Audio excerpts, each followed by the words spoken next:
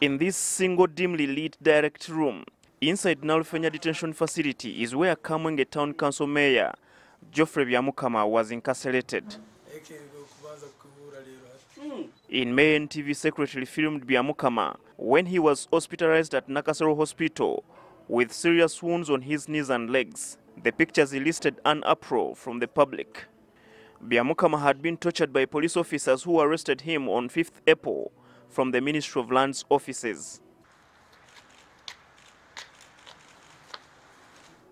However, Biamkama today looked visibly healthy and could walk by himself.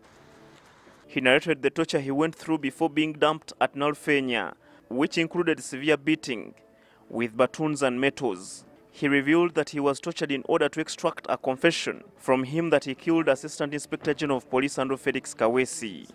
After handcuffing me, now from there, of course I could not turn left or neither right because they handcuffed me both the arms and the leg. They started now torturing seriously. Two were using the batons at the, at the knees and the other two were using an iron, a short iron bar like the one of a window.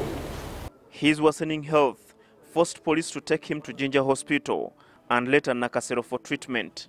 They looked at the legs and thought maybe this guy we need to amputate the legs. But later they had a meeting, I think, and decided "Hey, let's take him to the theater and we see if we can manage him. I was taken to the theater first time, second time, then later they said, no, this man is, I think is manageable, can treat him.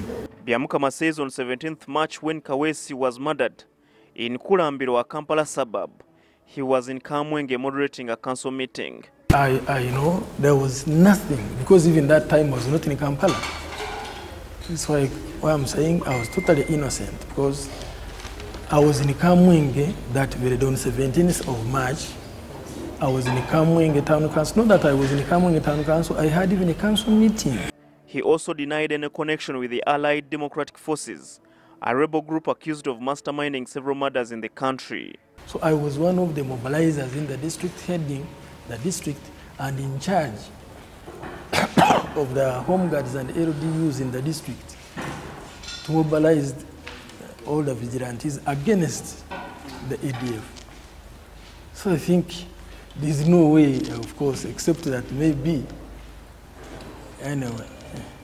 Police is yet to sanction any charges against Byamukama, despite spending five months in their custody. According to the DPP, the, the evidence that we have on our file is not adequate enough uh, to have him on our charges. So we have given him bond and uh, he's going to continue cooperating with us. One of the terms of his bond is report every after 14 days at CPS Kampala. Herbert Ziwa, NTV Weekend Edition.